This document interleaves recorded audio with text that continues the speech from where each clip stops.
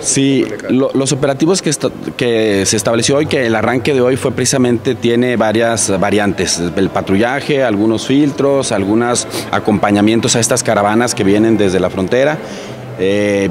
como hoy arranca, ya a partir de hoy estaremos hablando de estadística cuánto viene, cuántas van ingresando al país, porque también hay muchas restricciones en Estados Unidos. Y en estos filtros pretendemos, ayer se platicó, que pudiéramos tener el apoyo del sector salud para que en determinado momento, mediante algunos eh, esquemas de test eh, o de síntomas que el mismo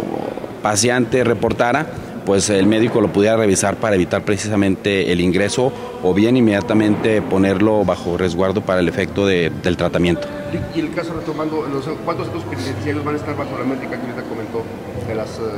cero visitas durante 30 días? Los cuatro centros penitenciarios del estado, el centro número uno, aquí en la capital, del estado de Durango, el Cedirezo de Santiago Papasquiaro, el Cedirezo de El Salto y el de adolescentes, aquí también en el barrio de Tierra Blanca. Entonces, eh, todos eh, hoy tomaremos esa decisión, ya está consensado, hemos estado platicando todo el personal que integra el sistema penitenciario en la Secretaría de Seguridad Pública, de poder cancelar a partir de este jueves próximo ya cero visitas durante 30 días, extremamos medidas de higiene y que única y exclusivamente se permitirá visita de contacto directo al interior cuando así lo se requiera por extrema necesidad y urgencia. Los locutorios estarán abiertos con medidas de higiene permanentes, pero sí pedirles a través de los medios de comunicación la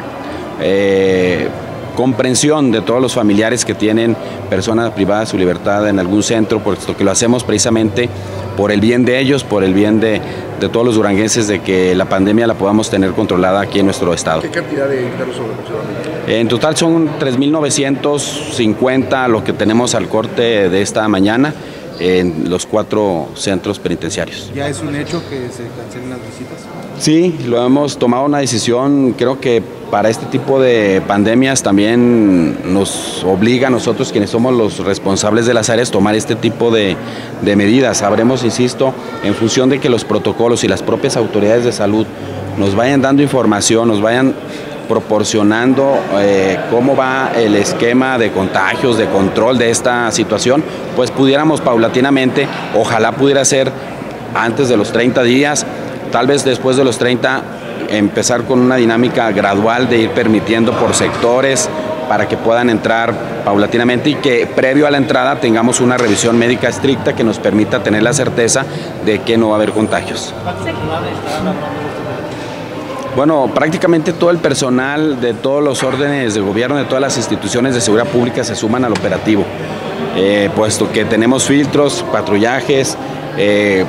muchas actividades que se hacen de manera administrativa para algún trámite que tenemos que hacer con las caravanas migrantes. Hablamos de cerca de 4.000 elementos en todo el estado los que se habrán de sumar